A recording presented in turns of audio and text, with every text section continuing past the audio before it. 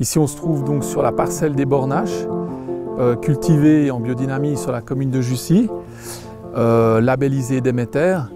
Et c'est euh, en fait un mode de culture qui permet à, la vigne de, retrouver en, fait son équilibre. Toutes nos interventions vont être dictées par le calendrier lunaire. en même temps, vous avez également deux grandes périodes dans l'année où on doit passer des préparations biodynamiques. Il y a la bouse de corne et la silice de corne, qui sont les deux éléments importants. Euh, on va dire la première est pour euh, la bouse de corne pour la terre et la deuxième plutôt pour la vigne, qui va permettre entre les deux un bon équilibre, une harmonie entre le terroir et la culture de la vigne.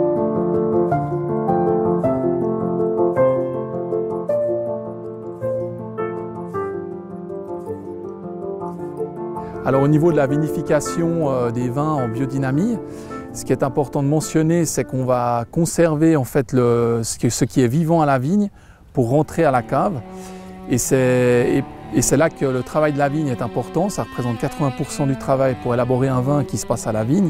Ensuite, les 20% restants, c'est un accompagnement dans la cave.